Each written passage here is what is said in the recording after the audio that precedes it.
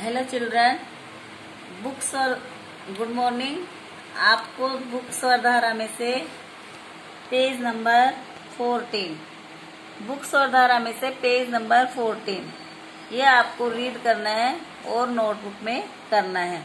देखिए यहाँ से दो अक्षर वाले शब्दों से बने वाक्य.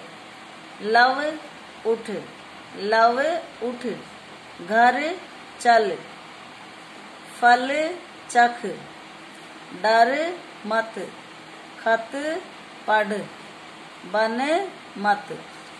सच कह, कम बक, चल हट, थक मत। धन रख, जल भर। ये यहाँ तक आपको पढ़ना है और लिखना है। फिर इसके नीचे है, यह मत कर, यह मत कर दस बज गए, दस बज गए। मठ तक चल, मठ तक चल, जप तप कर, जप तप कर, तन कर चल।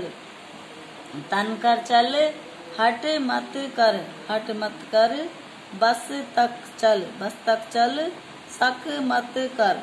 इस प्रकार से ये लेसन आपको रीड करना है और राइट करना है। ओके